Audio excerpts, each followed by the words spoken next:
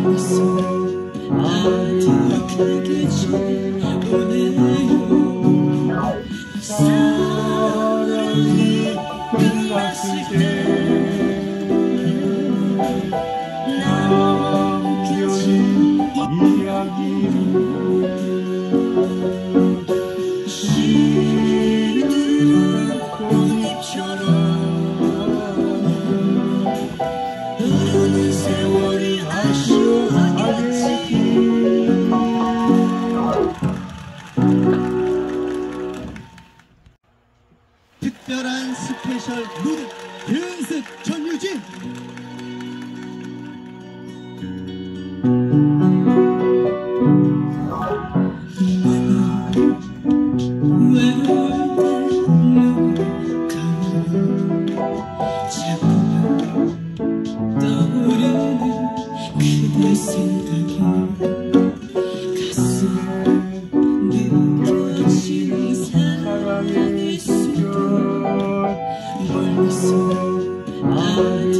아득하게 보내요 사랑이 끝났을 때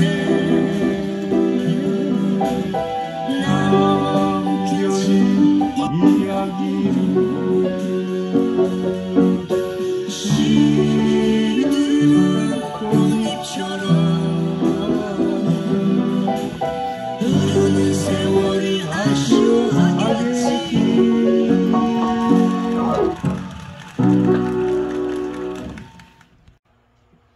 특별한 스페셜 무대 연습 전유진.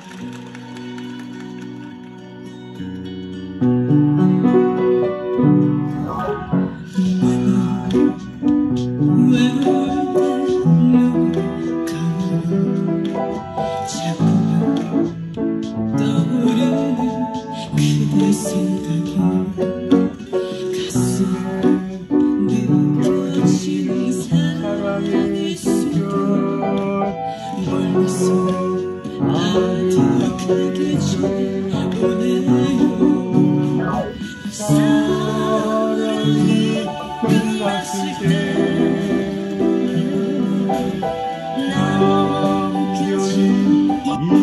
life.